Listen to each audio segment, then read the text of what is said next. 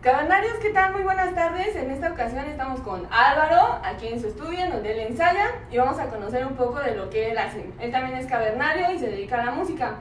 ¿Qué tal, Álvaro? ¿Cómo estás? Bien, ¿y tú? Aquí pasándolo un rato. Chido, chido, gracias por la invitación.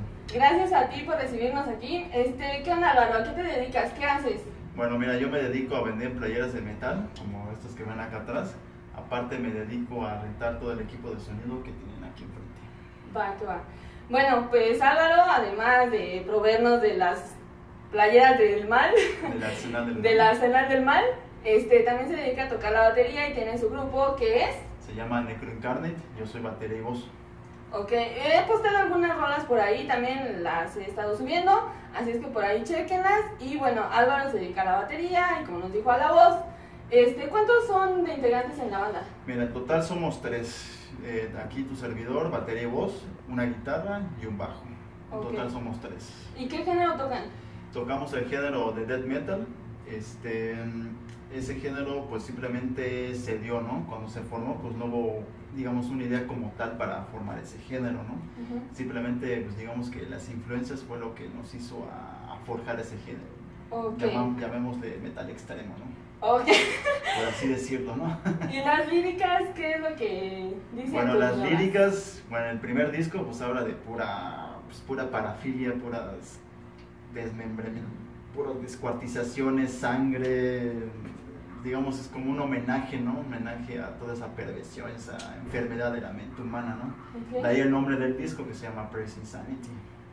Perfecto. ¿Tienen más discos? Eh, hasta ahora este es el único material que tenemos oficial, se llama Praise Insanity. Eh, posteriormente, el otro año, mediados del otro año, vamos a grabar un EP con cuatro rolas propias. Y Perfecto. posteriormente hacer un split con bandas nacionales. Ok. Con una banda nacional que... Me late. ¿Y cuánto tiempo llevas tocando? ¿Cuánto tiempo lleva el proyecto más o menos? Bueno, con la banda Ujú. llevamos aproximadamente siete años. La banda se formó en marzo del 2008, Ujú. mediados, si no más recuerdo. Eh, yo como baterista llevo 10 años tocando. 10 años ya, ok. Y batería, y que, perdón, que diga la voz, Ujú. eh, desde el 2009 a la fecha, como 6 años, batería y voz. ¿En qué lugares han tocado? Pues mira, hemos tocado, hemos tocado en Cancún, hemos tocado en Chetumal, eh, obviamente acá en el DF, en Campeche y posteriormente el próximo año estaremos en un festival en Querétaro que eso únicamente se va a dar a, a conocer por las redes sociales, que es un festival pues digamos importante y solamente por ahí se va a dar a conocer.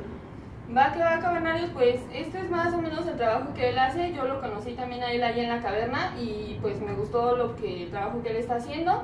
Lo he estado posteando para que ustedes lo vayan conociendo.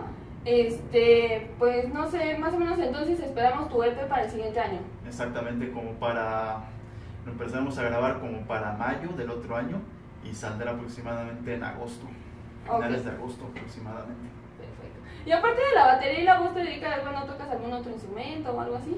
Sí, mira, este, bueno, lo mío, pues digamos muy fuerte es la batería y la voz y aparte pues me dedico igual a la, a la guitarra, al bajo y más o menos al teclado. Va, que va.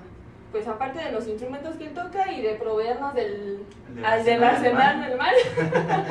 este, bueno, pues él es Álvaro. Muchas gracias por recibirnos No, de Álvaro. gracias por el apoyo a todos ustedes. No olviden checar en Facebook y en las redes sociales, en el YouTube, las rolas que están ahí subidas. Va, que va. Pues ya les iré postando un poco más de información y pues nos vemos para la próxima. Ya saben que si de metal hablamos en la caverna, nos escuchamos. A huevo.